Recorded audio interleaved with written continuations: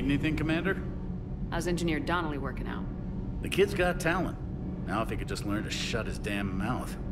Problems? I'm sorry, Commander. Donnelly is dedicated, knowledgeable, and thinks on his feet. I'm glad to have him on my team.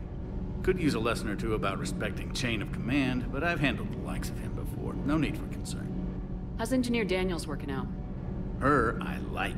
She's sharp and knows propulsion theory better than most physicists I've met. And she's easy to work with, too. Always said you had an eye for talent. Good job bringing her back to the Alliance. Carry on, Adams. Aye, aye, ma'am.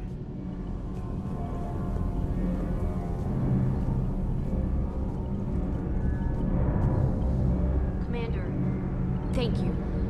It's great to be back.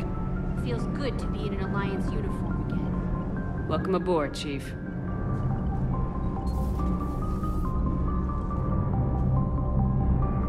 Glad the commander didn't forget about us down here. I told you Shepard would come visit.